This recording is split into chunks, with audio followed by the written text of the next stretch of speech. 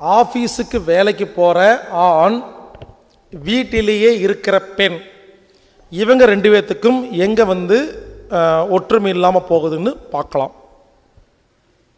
ஏங்க நான் கேட்குறேன் காலையில் எட்டு மணிக்கு ஆஃபீஸுக்கு போகிறீங்களே ஆண்கள் பெண்கள் வழி வச்சுக்கிறீங்களா? எட்டு மணிக்கு?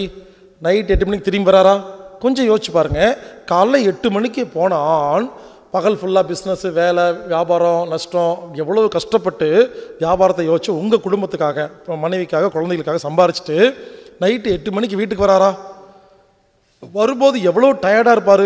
எவ்வளோ மூளைக்கு வேலை கொடுத்துருப்பாரு? பிஸ்னஸ் வெயில் பணம் பிரச்சனை எவ்வளோ இருக்குது யோசிச்சு பாருங்க இப்போல்லாம் பிஸ்னஸ் சாதாரண விஷயமா?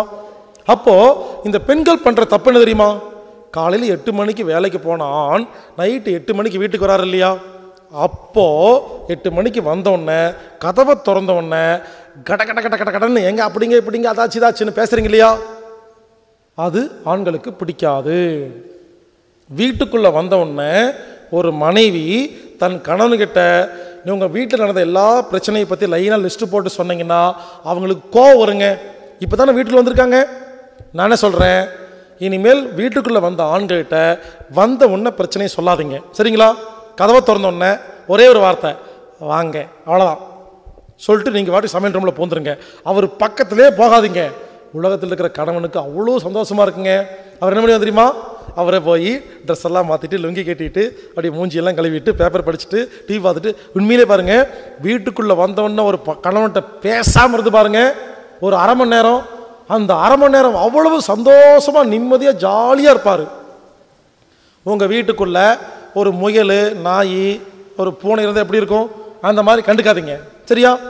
பேசாமல் இருங்க. அரை மணி நேரம் பல்ல கடிச்சிட்ருங்க அவர்கிட்ட எப்போ தெரியுமா பேசணும்? கரெக்டாக அரை மணி நேரம் தாங்க.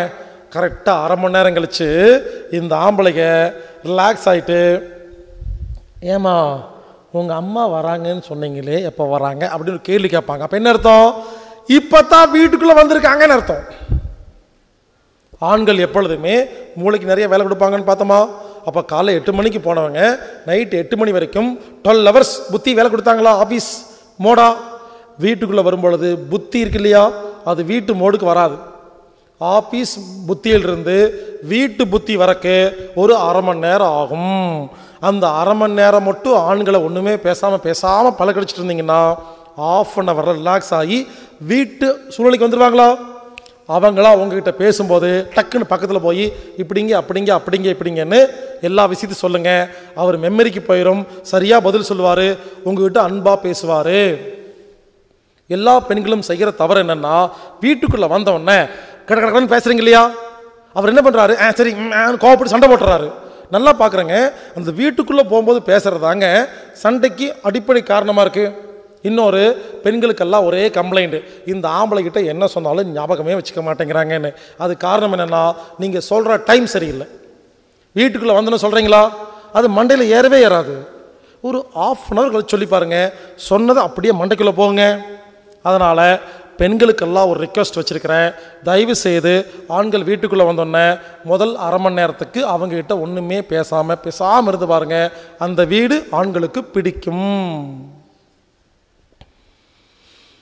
இப்போது அடுத்த பக்கம் சொல்கிறேன் எங்கள் ஆண்களை பார்த்து கேட்குறேன் காலையில் எட்டு மணிக்கு வீட்டை விட்டு வெளியே போய் நைட்டு எட்டு மணிக்கு வரீங்களே உங்களையே நினச்சி ஒரு ரத்தம் சதயமாக ஒரு உயிர் உங்கள் ஷர்ட்டெல்லாம் அயன் பண்ணி துவைச்சி பெட்டெல்லாம் க்ளீன் பண்ணி கக்கூசை கழுவி விட்டு குழந்தைய பார்த்து சமையல் பண்ணி உங்களுக்கு பிடிக்கிற சமையல்லாம் பண்ணி வச்சு எங்கள் ஆத்துக்காரர் வருவார் வருவார் வருவாருன்னு எட்டு மணிக்கு வருவாருன்னு காத்துட்ருக்குறாங்களே இருபத்தி நாலு மணி நேரம் யோசிச்சுட்டு உங்களே நினச்சிட்டு வீட்டுக்குள்ளே வந்தோன்னே முதல்ல அரை மணி நேரம் அவங்ககிட்ட பேசினா என்னப்போ பாருங்கள் பாருங்க மாற்றிட்டேன் அதாவது ஒரு மனைவிக்கு என்ன வேணும்னா வீட்டுக்குள்ளே வந்தவொடனே கணவன் தன்னை பற்றி விசாரிக்கணும். தன் மேலே அன்பாக இருக்கணும்னு ஆசைப்படுவாங்க. அதனால் எல்லா ஹஸ்பண்டுக்கு சொல்கிறேன் வீட்டுக்குள்ளே போன உடனே புரிஞ்சுக்குங்க. எவ்வளவு டயர்டாக இருந்தாலும் அதை எல்லாம் குப்பையில் போட்டுட்டு முதல் அரை மணி நேரம் மட்டும் ஏங்க மிஞ்சி மிஞ்சி போன ஒரு பத்து விஷயம் இருக்குமா? ஏமா நீ மத்தியானம் சாப்பிட்டியா? உன் கால் அடிபட்டு எப்படி இருக்குது? அம்மா வந்தாங்களா? ஃபோன் பேசினியா? குழந்தை வந்துருச்சான்னு மிஞ்சி மிஞ்சி போன ஒரு பத்து கேள்வி இருக்கா? வந்த உடனே அக்கறையா? அது அதுமா இதுமான்னு பேசினா இந்த பெண்களுக்கு எவ்வளோ சந்தோஷமாக இருக்குது தெரியுமா? அப்பாடா அப்படின்னு அவங்க ஒரு பத்து வார்த்தை பேசிட்டு இந்த பெண்கள் தெரியுமா சொல்லுவாங்க? நீங்கள் வீட்டுக்குள்ளே போன உடனே பெண்களை கவனிச்சு பாருங்க. பெண்கள் மாறிட்டு நீங்கள் போய் ரெஸ்ட் எடுங்க பாவம் அப்படிம்பாங்க. அவ்வளோதான் ஸோ வீட்டுக்குள்ள வீட்டில் இருக்கிற மனைவிக்கும் வேலைக்கு போகிற கணவனுக்கும் எங்கே தெரியுமா இடிச்சுக்குது? அந்த வீட்டுக்குள்ளே வந்தவுடனே முதல் அரை மணி நேரத்தை இடிச்சுக்கும் அதனால் பெண்கள் தயவு செய்து அரை மணி நேரத்தை விட்டு கொடுங்க. இல்லை ஆண்கள் அரை மணி நேரத்தை அவங்களுக்கு ஸ்பெண்ட் பண்ணுங்கள் ரெண்டு பேர்த்தில் யாரோ ஒருத்தர் விட்டு கொடுத்தா தான் அந்த அரை மணி நேரத்தில் அப்புறமா அந்த குடும்பம் நிம்மதியாக இருக்கும். அதனால் ஆண்களுக்கெல்லாம் சொல்கிறேன் வீட்டுக்கு போகும்போது மனைவி பார்க்க போகும்போது ஒரு கிளையண்ட்டை பார்க்க போகிற மாதிரி போங்க. ஃப்ரெஷ் பண்ணிவிட்டு ரெடியாகி ஒருவேளை வீட்டுக்கு போகிறக்கு மேலே ஒரு பார்க் கீர்க்கு இருந்துச்சுன்னா பார்க்கில் போய் உட்காந்து அரை மணி நேரம் தியானமெல்லாம் பண்ணி ஆஃபீஸ் மூடெல்லாம் ரெடி பண்ணிவிட்டு பக்காவை ரெடி பண்ணி மூஞ்சியெல்லாம் கழுவி பவுடர்லாம் போட்டு ரெடி பண்ணி ஃப்ரெஷ்ஷாக வீட்டுக்குள்ளே போகும்போது உங்கள் மனைவியை முதல்ல அரை மணி நேரம் கவனிக்கிற மாதிரி ஃப்ரெஷ் ஆகிட்டு போங்க. ஆனால் டெய்லி ஒரு பார்க்குக்கு போகிறீங்க விஷயம் தெரிஞ்சதுன்னா யார் அந்த சக்காலத்தின்னு சண்டை வரும் அதையும் பார்த்துக்கணும் அடுத்த பாயிண்ட் ஆண்களுக்கு உண்மை பேசினா பிடிக்கும். பெண்களுக்கு பொய் பேசினா தான் பிடிக்கும். அதை பற்றி சொல்கிறேன் இன்ட்ரெஸ்டிங்காக இருக்கும் பாருங்க. ஒரு ஒரு மனைவி ஹஸ்பண்டுக்கு தெரியாமல் அவங்க ஃப்ரெண்டோட ஒரு படத்துக்கு போயிட்டாங்கன்னு வச்சுக்கங்களேன். சும்மா ஒரு எக்ஸாம்பிள் புரியிருக்காங்க போய் சொல்லிட்டாங்க. அம்மா வீட்டுக்கு போகிறேன்னு சொல்லிட்டு படத்துக்கு போயிட்டு வந்துட்டாங்க. இது இந்த கணவனுக்கு தெரிஞ்சு போச்சு. யாரோ சொல்லிட்டாங்க. உங்கள் மனைவியை தேட்டரில் பார்த்தேன்ட்டாங்க. வந்து கேட்குறாரு ஏய் எங்கே போனேன் அம்மா வீட்டுக்கு. இல்லை உண்மை சொல் அம்மா வீட்டுக்கு தாங்க போனேன். தேட்டருக்கு போனதாக சொன்னாங்க. எந்த நாதாரி சொன்னான்? உண்மையிலங்க பயங்கரமாக திட்டுவாங்க. ஏன் தெரியுமா? எவனோ ஒருத்தர் போட்டு கொடுத்துறான்னு சொல்லி இந்த பெண்கள் என்ன பண்ணுவாங்க. கடைசி வரைக்கும் சத்தியம் பண்ணுவாங்க. இல்லை நான் அம்மா வீட்டுக்கு தான் போனேன்னு. இங்கே பாருங்க. அழுது ஆர்ப்பாட்டம் பண்ணி நடித்து எங்க என்ன நம்பலையான்னு சொல்லி எதையாவது பண்ணி அவங்க நீங்களே வாயில சரி சரி விடு விடு அம்மா வீட்டுக்கு தான் போனேன்னு சொல்கிற வரைக்கும் விட மாட்டாங்க. அது ஏன்னு தெரியுமா? பல ஆம்பளை கோவம் வரும். பாரு உண்மையை கண்டுபிடிச்சி சொல்ல மாட்டேங்கிறா. கல் நெஞ்சக்காரின்னு சொல்லி அந்த பெண் மேலே ரொம்ப கோவம் வரும். அப்படி கோவப்படாதீங்க. ஒரு பெண் ஒரு ஒரு ஆணிடம் உண்மையை மறைக்கிறக்காக நடித்து அழுகிறான்னா உங்களை ரொம்ப ரொம்ப பிடிக்கும்னு அர்த்தம். ஏன் தெரியுமா நடிக்கிறாங்க? ஏன் தெரியுமா அழுகிறாங்க? ஐயோ இவர்கிட்ட நான் பொய் சொன்னேங்கிறது தெரிஞ்சு போனால் நாளைக்கு அன்பு இல்லாமல் போயிடுவாரோ நம்மளை விட்டுட்டு போயிடுவாரோ நம்ம மேலே அன்பு இல்லைன்னு சொல்லி கதறி அழுது எப்படி நிரூபிப்பாங்க? ஒருவேளை அவங்கள பிடிக்கலன்னா ஆமாம் அதுக்கு என்னன்னு சொல்லுவாங்க. அவ்வளோ முடிஞ்சு போச்சு. அதுக்கே அவ்வளோ கஷ்டப்பட்டு ட்ரை பண்ணுறீங்க புரிஞ்சுங்களா?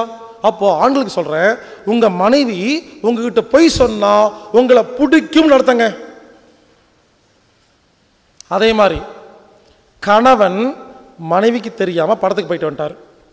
மனைவி கண்டுபிடிச்சிட்டாங்க. ஃப்ரெண்ட் ஒருத்தங்க சொல்லிட்டாங்க உங்கள் ஹஸ்பண்டை தேட்டரில் பார்த்தேன்னு. இப்போ பாருங்கள் கதை மாறி போச்சு. மனைவி கேட்குறாங்க எங்கெங்கே போயிட்டு வந்தீங்க? ஆஃபீஸ்க்குமா இல்லைங்க தேட்டரில் பார்த்ததா சொன்னாங்க. என்னது? தேட்டர் பார்த்து இல்லைம்மா அப்படின்னு பத்து முறை கேளுங்க. இந்த ஆம்பளைங்க சிரிச்சிட்டு ஆமாம் தேட்டருக்கு தான் போனேன். அப்படி சொல்லிடுவாங்க இப்படி யாரெல்லாம் சொல்கிறீங்களோ உங்கள் மேலே கோவம் வருங்க அவங்களுக்கு. ஏன் தெரியுமா? இந்த மாதிரி உண்மையை ஆமான்னு சொல்லக்கூடாது. ஒரு பெண் என்ன நினைப்பாங்க? இல்லை நிரூபிக்கிறதுக்கு கஷ்டப்படுறா அப்படின்னு நினைப்பா அதை பிடிக்கும் அவங்களுக்கு. நீங்கள் உடனே இல்லைம்மா சத்தியமா இல்லை அப்படின்னு நடிச்சு கிடிச்சு அப்படி போயிட்டு வச்சிங்களேன். நல்லா தெரியும் சினிமாவுக்கு போயிட்டு வந்தீங்கன்னு. நீங்கள் மட்டும் நடித்து இல்லை உண்மையில சத்தியமா இல்லை சொன்னா கேளு அப்படின்னு நடிச்சு கிடிச்சு போயிட்டு வச்சிங்களேன் சிரிப்பாங்க போனதுக்கப்புறமா பாரு எனக்காக என்ன நடி நடிக்குதுன்னு. பிடிக்கும் அவங்களுக்கு உண்மையை சொன்னால் பிடிக்காது. புரிஞ்சுங்களா? நல்லா கேட்டுக்கேன். பெண்களுக்கு ஒரு ஆண் தப்பு செஞ்சு மாட்டிக்கிட்டு உண்மையை சொன்னால் பெண்ணுக்கு பிடிக்காது. ஆனால் ஆணுக்கு தப்பு செஞ்சு மாட்டு உண்மை சொல் பொய் சொன்னால் பிடிக்காது. புரிஞ்சுங்களா? ரெண்டு வேறு வேறு கேரக்டர் இந்த ஒரு சின்ன விஷயம் எதுக்கு சொல்கிறேன்னா இது நிறையா வீட்டு வாழ்க்கையில் இந்த ஒரு சின்ன விஷயத்தில் மிகப்பெரிய சண்டை வந்து டைவர்ஸ் வரைக்கும் போயிருக்குங்க. நான் ப்ராக்டிக்கல் நிறையா பார்த்துருக்குறேன். புரிஞ்சுக்குங்க. பெண்கள் ஆண்களிடத்தில் பொய் சொன்னால் ஆண்களை பிடிச்சிருக்குன்னு அர்த்தம். அதே மாதிரி பெண்களுக்கு சொல்கிறேன் இந்த கணவன் என்ன பண்ணுவாங்க? ஓப்பனாக உண்மையை சொல்லிடுவாங்க நான் அப்படி இப்படின்னு இவங்களை பற்றி கெட்ட விஷயத்தில் ஓப்பனாக சொல்லுவாங்க இல்லையா? பெண்கள் சந்தோஷப்படுங்க. உலகத்தில் ஒரு ஆண் யார்கிட்ட தெரியும் உண்மை சொல்லுவார்? தனக்கு ரொம்ப பிடிச்சவங்ககிட்ட மட்டும்தான் உண்மையை சொல்லுவார். இப்போ புரிஞ்சுங்களா? ஆண்கள் தனக்கு பிடிச்சவங்ககிட்ட தான் உண்மையை சொல்லுவாங்க. பெண்கள் தனக்கு பிடிச்சவங்ககிட்ட தான் போய் சொல்லுவாங்க. நான் சொல்கிறது மிகப்பெரிய விஷயம். இது தேவைப்படும். சில பேர்த்து வாழ்க்கையில் தேவைப்படும். வச்சுக்கோங்க. ஃப்யூச்சரில் ஒருவேளை இதனால் நம்ம பிரியக்கூடாது. ஸோ இந்த விஷயம் புரிஞ்சிருந்ததுன்னா சில இடத்துல நான் சொல்கிறது பார்க்குறதுக்கு சாதாரணமாக இருக்கும்.